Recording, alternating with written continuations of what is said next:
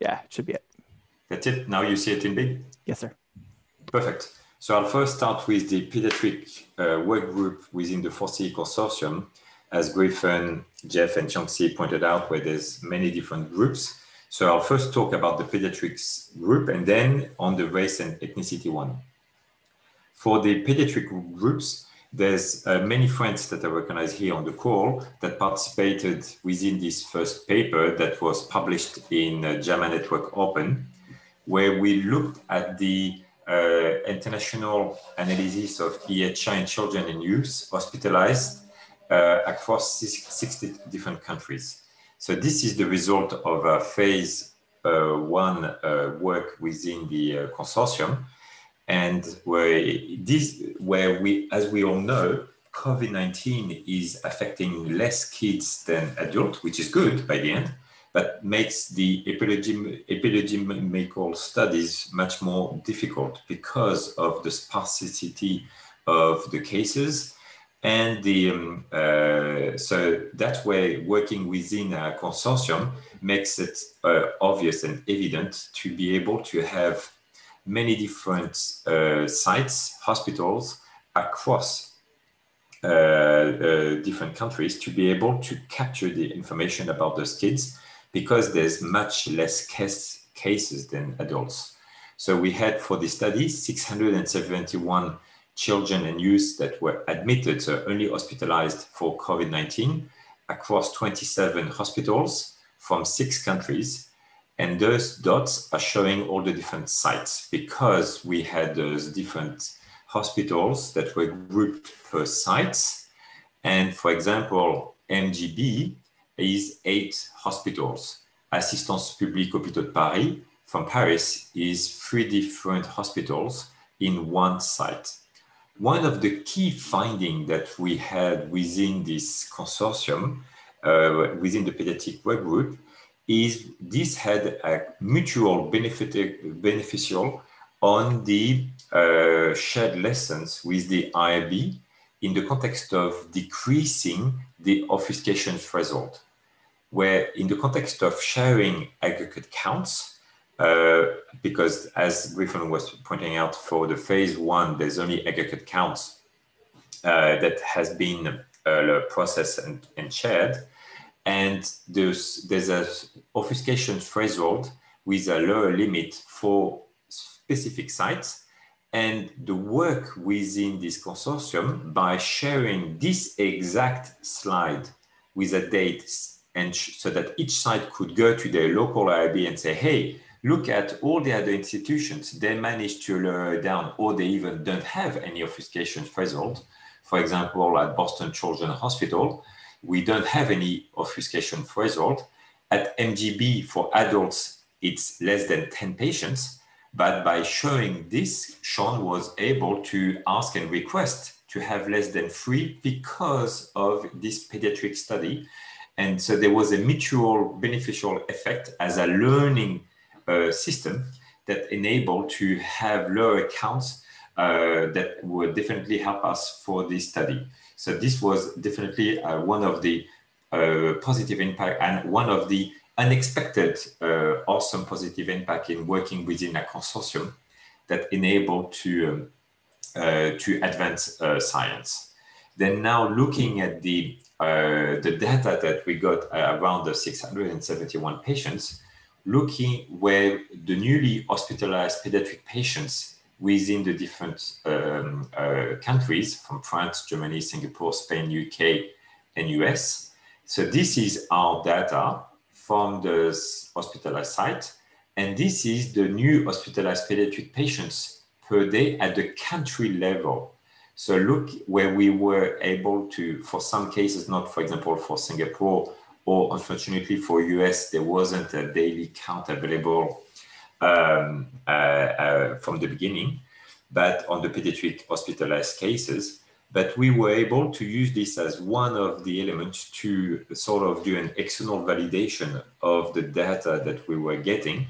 And uh, from France, where we have five different hospitals, that very surprisingly, which is very good news, was able to mimic the national trend of this data. So this definitely worked out for France, for UK uh, and going in the right direction for the other sites. But uh, this was very um, uh, encouraging based on this data.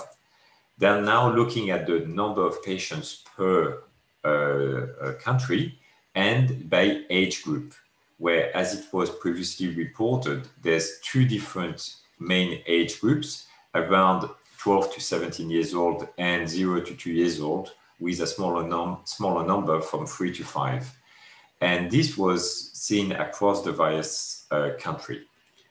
Uh, looking now at the complication from those patients uh, during uh, the hospital, proportion of patients that had those complications during their hospitalizations that were uh, noted using ICD-9 or ICD-10 codes, where the three most complications were cardiac arrhythmia, viral pneumonia, and respiratory failure.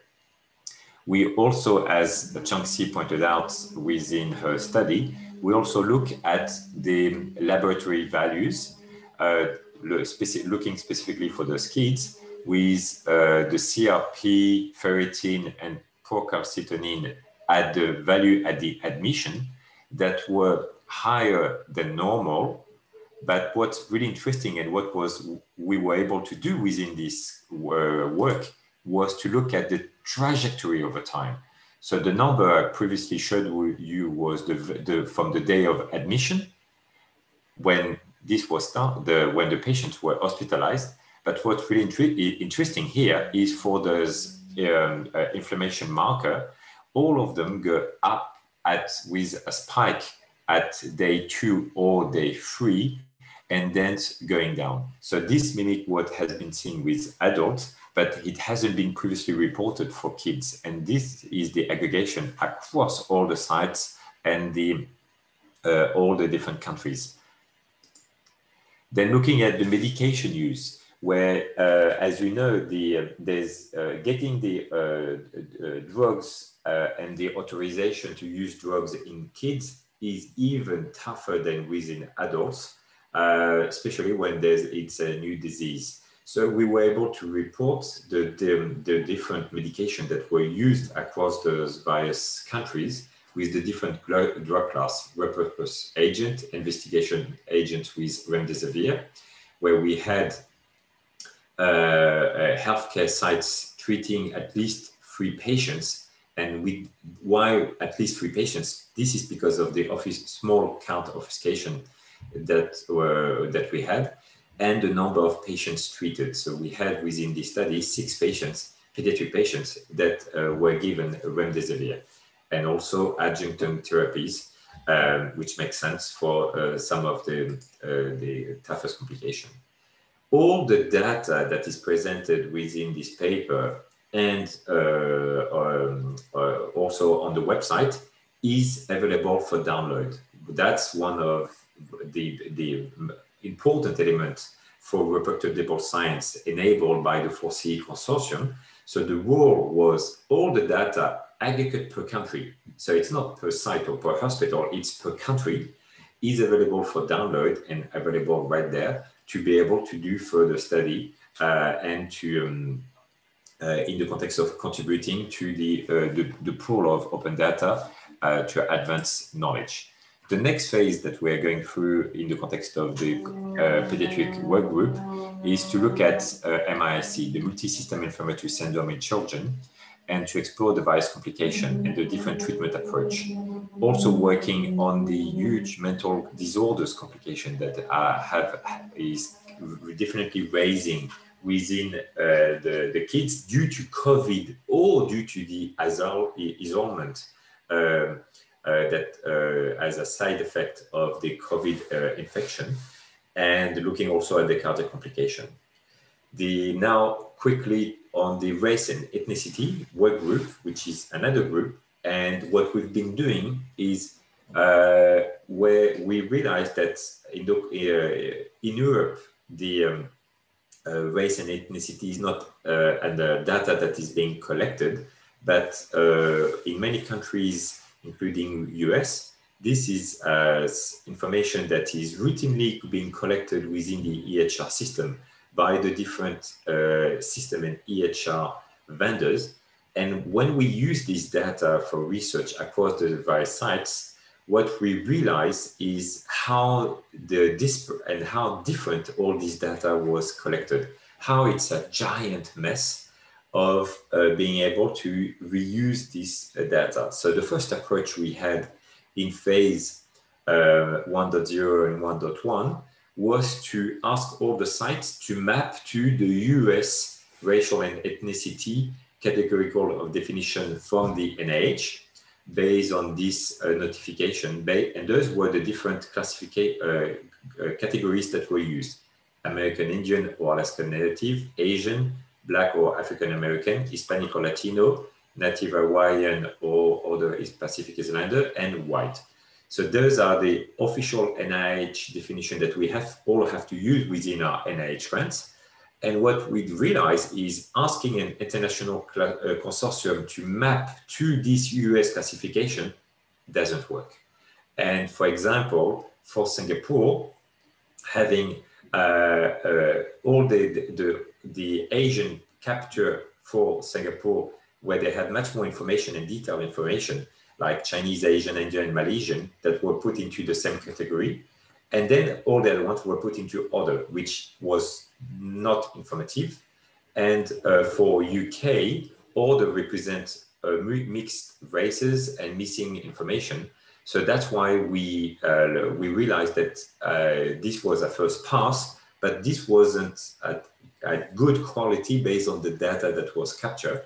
So what we've been doing is to um, uh, be able to improve this by for the uh, the next phase 1.2 um, uh, and 2.2 is to collect all the different local codes of race and ethnicity for each site to enable a country specific analysis and then also to implement per country. Uh, so first was to have a bottom up approach, but also at the same time in parallel, we do a top down approach, but having uh, the national country specific definition of race and ethnicity applied to this data to be able to make sure to capture the right way. And so we're having both approach in parallel to see which would be the best one for further analysis. And so th this is what has been going on so far. And you can definitely learn more about the 4CE consortium on our website, covidclinical.net. And happy to answer to any questions.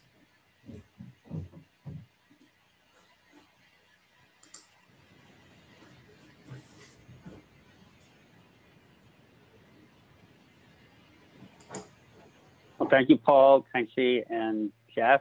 Um, last minute, are there any other questions for, um, for us?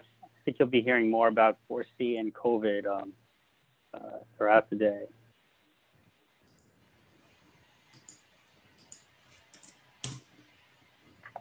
I see Ulrich has his hand up. Yeah, thank you, uh, Paul, for this very exciting talk. Uh, the world-spanning uh, data standardization seems to be a big issue. The question would be, um, I'm sure you had a look at the um, HL7 ethnicity and the HL7 FHIR resources on that. So what's your quick finding? I think it might be insufficient because it's ancient or did you, did you find anything else? In the context of race and ethnicity? Yeah. Yeah, so HL7 is a, a, a messenger. It's the um, HL7 doesn't provide any data storage of how the data should be collected and captured within the EHR system. It's just a way to transfer information from one system to another. So yes, it enables many different mappings, but what we realized is uh, the data was captured by the different EHR vendors in a real wild west where there wasn't they were using sort of some of the uh, national classification but not always and with different rules of how this data was collected so unfortunately the the the, the deep root cause of the problem can't be solved directly with HL7 because the data was collected into so many different ways. So we have to go back deeper within the EHR system and then map to be able to, re, to be able to reuse this data efficiently.